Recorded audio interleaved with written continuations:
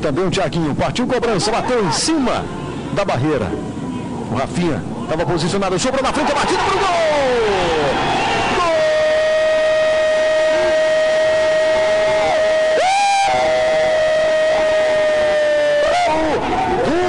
Tiradentes. João Neto, camisa 8. Agora há pouco perdeu um gol. E agora chegou, fez um belíssimo gol por ali. O toque de cabeça do Reginaldo Júnior. João Neto apareceu de perna direita. Mandou um chute pro gol, não deu para a defesa do Eliardo. Sacudindo a rede do Guarani de Sobral. Um Tiradentes, João Neto. Zero Guarani. Sérgio Pinheiro. Vai dar o caminho para a cobrança, toca na bola mais à frente.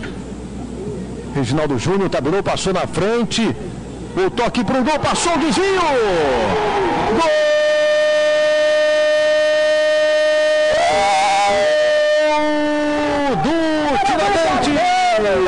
10. Rafinha, camisa 11. Ampliando o placar, o toque na frente.